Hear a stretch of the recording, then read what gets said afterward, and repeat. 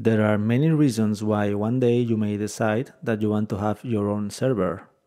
Perhaps it is because you need to deploy the application you have been developing and want full control of the machine. Or perhaps you have decided to stop using a cloud service to host it yourself. For example, there are many people who decide to stop using Google Drive to start using Nextcloud, since it offers an infinitely higher level of privacy. There are people who host their private instance of Bitwarden to have the management of their passwords under their control.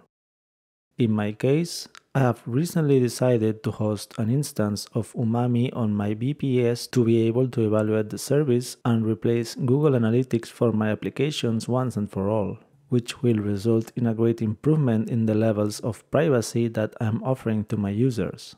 Whatever the reason why one decides to hire or buy a private server, the first thing to do is secure it properly. An unauthorized access can lead to theft of sensitive data, loss of money due to abuse of the system, or even the use of the server for illegal and fraudulent activities. In order to be able to guarantee that only we and the people we decide can access that server, in this video I'm going to show you the first actions that you should do when you get your server. These actions are not intended to be exhaustive, but I do consider that they are a good and general basis for most types of servers. My recommendation is that you do all these actions at the beginning of having your machine if it is exposed to the internet. These instructions that you will see have been done on Ubuntu server running in a virtual machine, but should also work on any Debian-based distribution in a real server. For the rest of the distributions, it's possible that some command is different, but the general idea is the same. The first thing we're going to do is access the server via SSH. For this, our supplier will have had to give us a username and a password. If you have installed the server yourself, then you already have that data you must also ensure that you have installed the SSH service. If you are using Windows, you can use PuTTY. I leave you the link in the video description. If you're on Mac, just open a terminal and run the command. On Linux, most distributions come with the SSH package already installed. In my case, the user is Ubuntu and the IP is what you see on screen. It asks us if we trust this server. We say that yes. Then we enter our password. Once connected, the first thing we should do is update the system running sudo apt update. You will be prompted for your password. Leave this command update and then run sudo apt upgrade to upgrade the system. This is a crucial action and one that we should repeat from time to time to download the latest updates in order to apply the latest security patches. Now we're going to change the default SSH port. This action consists of modifying the standard port for SSH connections. This can hinder a possible attack in which the attacker wants to access through this protocol. Note, from this point of the tutorial we're going to modify some files. In my case, I'm going to use the Vim program for it, but you can do it with the text editor that you like the most. If you don't know any text editor, I recommend you that you use Nano, which is perhaps one of the easiest to use. Let's modify the SSH configuration with this command. We locate the port entry and choose a random port between 0 and 65535. For this example, I will use 28438.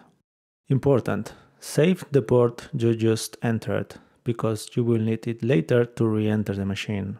Once this change has been done and the file is saved, we restart the SSH service with the following command.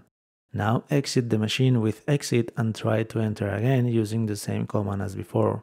If you have made this change correctly, it will not let you enter because by default SSH uses port 22. So now to enter you will have to specify the new port. Now we're going to activate a firewall, which will allow us to block all those ports that do not interest us. For this, we will use the uncomplicated firewall. The first thing we have to do is apply a rule for the SSH service with this command. Otherwise, we will not be able to reconnect. And now we create a rule with the port set before. Now we can activate it with the following command. Note, keep in mind that from now on all other ports are closed. If you're going to install a web service, you will have to open their respective ports, typically port 80 for HTTP and port 443 for HTTPS. Now we're going to change the root password. This step is especially important if you have not installed the operating system yourself. Please choose a strong password. It should contain a minimum of 16 characters, contain letters, numbers, and symbols, and be randomly generated. I recommend that you store this password securely in a password manager. Now we will replace the default user. Like the previous step, this step is important if you have installed the system yourself.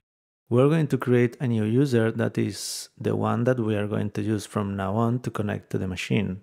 Just like the previous step, make sure to choose a strong password and keep it safe. Let's give permissions to execute sudo commands to the new user.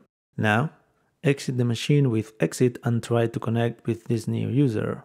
If you have been able to connect successfully, check that you can run sudo commands you can run, for example, sudo apt update. If you don't have any errors, then you can already delete the previous user. Now we're going to restrict the SSH connections much more. Let's edit the SSH configuration file. In this file, locate and modify the following values.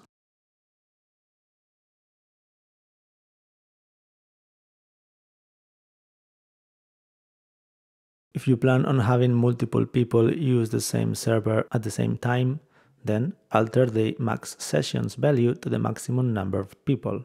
Restart the SSH service running this command. Now we will prohibit the access with password and instead we will force the use of a SSH key. In this way, a potential attacker will be forced to obtain said key to enter. To do this, the first step is to generate the key in our local system, not on the server. Leave the path as default if you want, and optionally you can set a password to unlock the key. Make sure to make a backup of this key. If you lose it, you will not be able to re-enter the server. Now copy to your clipboard the content of your private key.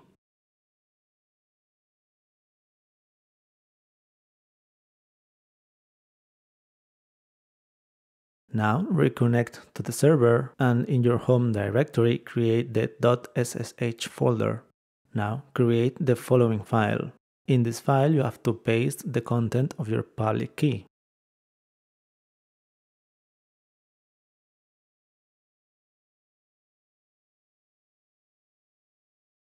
Now edit the SSH config file again and set the value of pubkey authentication to yes restart the SSH service. At this point, it is important that you verify that it works. To do this, exit the server with exit and try to log in with the SSH key. In order to use this key, you have to modify its permission scheme. You can do it with the following command. If you have been able to enter correctly with the SSH key, that is, you have not had to enter your password, then you can proceed to disable password connections re-edit the SSH config file and set the value of password authentication to no.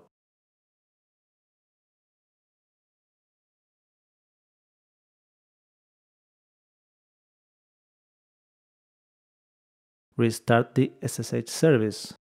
Now, it should not let you enter if you try to enter without the SSH key. Now, we will install Fail2Ban. This program allows you to block malicious attempts to access the system. It scans log files and blocks IPs that show harmful attitudes, too many failed passwords, etc. Install it with sudo apt install fail2ban.